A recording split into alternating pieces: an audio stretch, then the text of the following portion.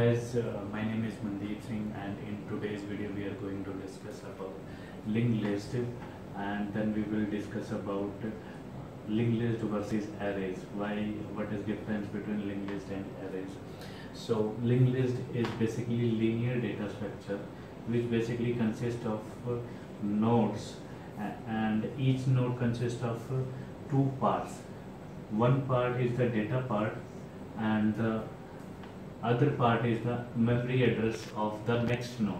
So for example this is my linked list and it has four nodes and always last node will point to the null. So now let us assume that this is a linked list and it is holding some values and this part is the memory address of this node similarly this part is the memory address of the next node. And the first node is always pointed by the head node which contains the memory address of the first node. So basically linked list is a linear data structure which consists of nodes and each node consists of two parts. So this is a typical linked list uh, look alike. And linked lists are basically of two types singly linked list and doubly linked list we will more discuss about these two types in our uh, next video. Uh, right now we uh, now the question comes why do we need linked list? So we when we are having arrays then why do we need linked list?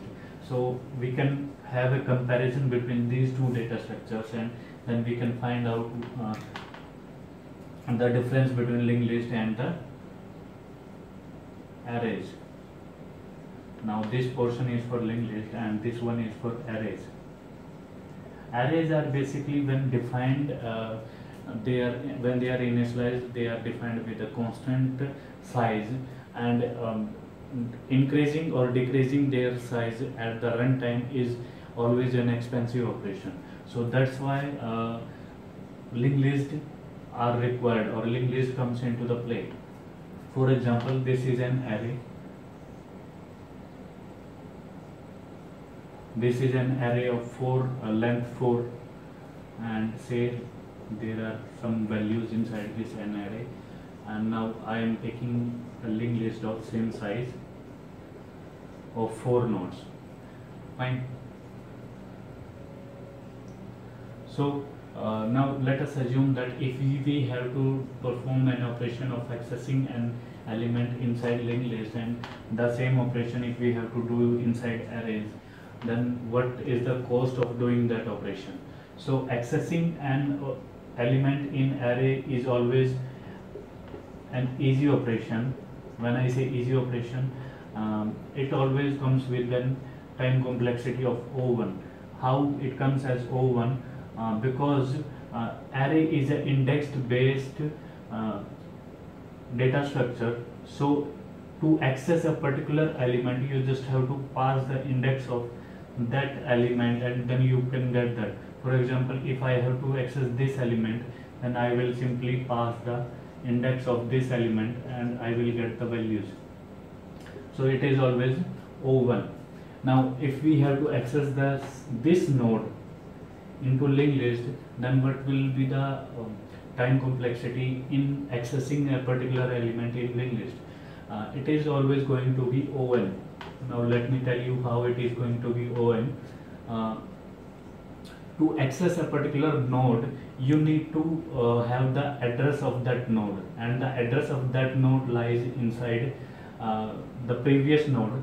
So in the similar way you have to traverse from head node till that node.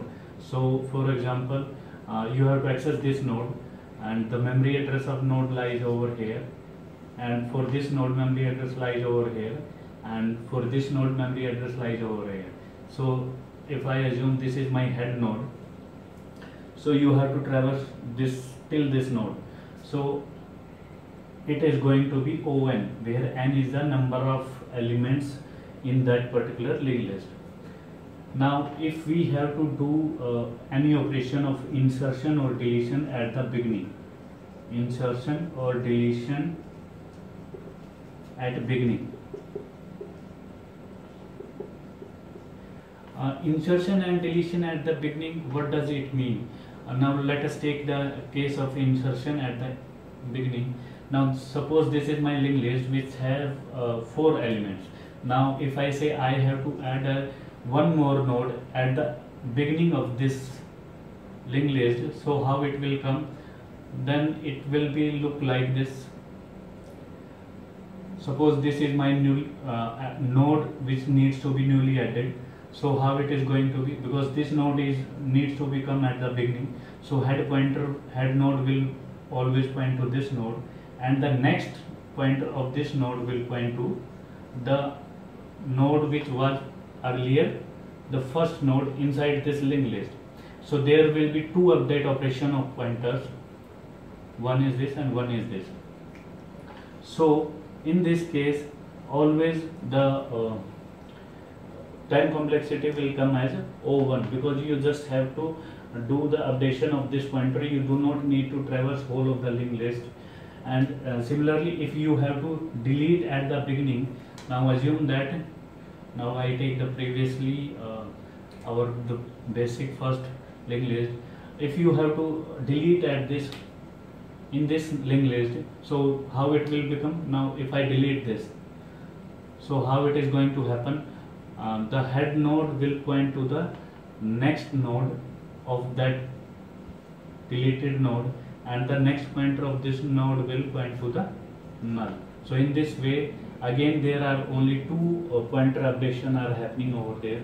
You do not need to do uh, traverse the whole linked list so again the time complexity will come as O1 because you are doing the at the beginning of the operation beginning of the linked list and if we take the same operation inside array when we need to add or delete a particular inside at the uh, starting of array. So uh, now for example this is this is my array. We can take this an array and we are taking the example of um, say insertion. So in how insertion will happen? Now the size of array is 4 now we are saying that we are going to insert one more uh, element inside this array. So then size will become to the 5 so inside memory how it will happen? Uh, it will create a brand new blank array of size 5 and then then it will copy the first newly added element at the zero index. Say I have added 7 and then it will copy the rest of the elements rest of these elements at the respective index. So again this is going to be the uh, you need to copy all those elements and you have to traverse the complete array. So it is again going to be as O n in the similar way deletion similar way uh, when you have to delete uh, at the beginning of array now for example this is my array. 1 2 3 4 there are four elements. And you have to delete at the beginning of uh, an array. Then how it is going to happen? Suppose now you have to delete this. Now I have deleted this. So after deleting this you need to perform the shifting operation of respective elements.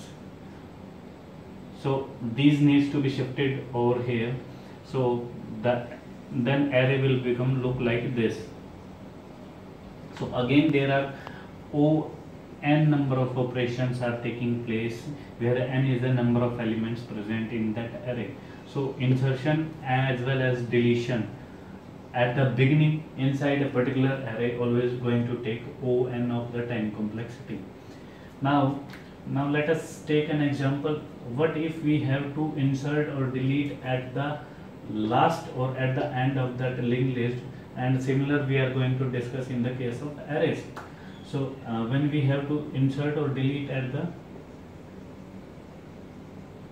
insertion or deletion at end. So now this is my linked list uh, of length 4 let me take it make it clear. This was my linked list of length 4 nodes present over there and this is my head node which is pointing to this node. So now what we are saying that we have to insert at the end. So now the next pointer of this node is pointing to null and we have to add new node at this place. So for this what we have to do so next point when suppose this is the next node new node that is going to be added uh, let me take down here. This is the new node that we need to add at the end. So how it is going to happen? Uh, earlier this was pointing to null. So next pointer of that node will now point to this.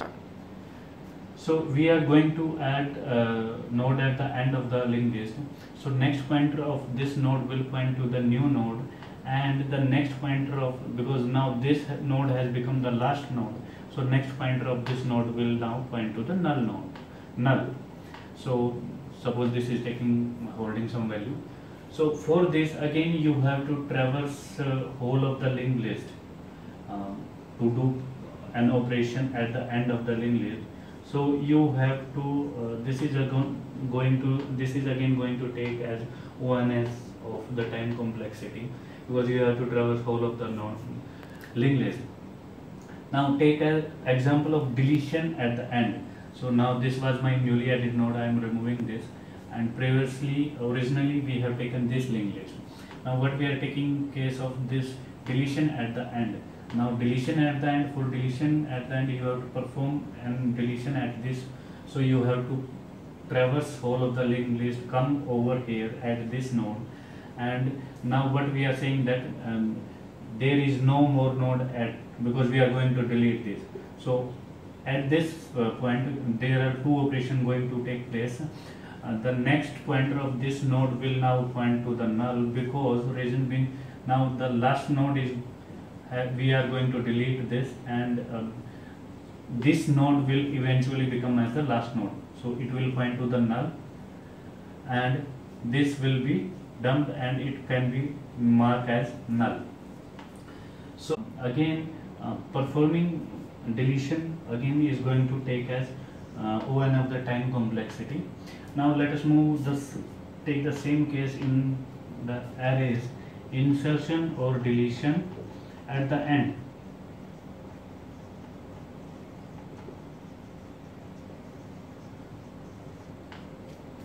Now insertion or deletion at the end. Now let us assume uh, this is my originally taken array. This is my originally taken array now what we are saying that we have to uh, insert or delete at the end. Now for insertion or deletion at the end suppose this is my array and if you have to do insertion or deletion at the end so you because this array is again the index based uh, data structure you just have to uh, now assign the value at, the last index whichever value you want to add. So um, because this is array starts with 0 so at a3 if you want to insert something then it is it will directly do and it will overwrite the previous value. If it is holding any value and if is it is blank it is again going to write that value. So um, in the similar way uh, if you are going to delete this so you just have to point this a3 as null. So it is again as uh, as simple as that of this one uh, access based operation. So this is again going to take as o1 of the operation o1 of the uh, time complexity. So that, that's all about the linked list versus arrays how uh, time complexity behaves in case of when we are doing different operation accessing a particular element insertion or deletion at the end at the beginning. So this is all about today's session. So i hope you like it. Uh, please do like comment subscribe my channel. Thanks for watching